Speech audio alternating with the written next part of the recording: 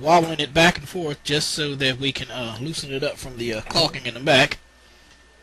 And there's a hanger in the back that holds it. Lift it straight up off the hanger, and then it's ready to remove.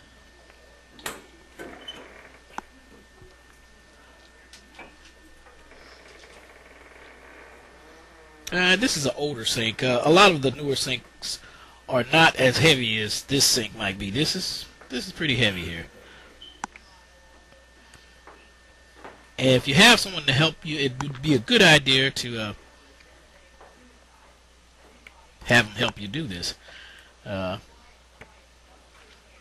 now here's the uh, wall hung hanger, which the uh, sink is uh, mounted to and hangs on to.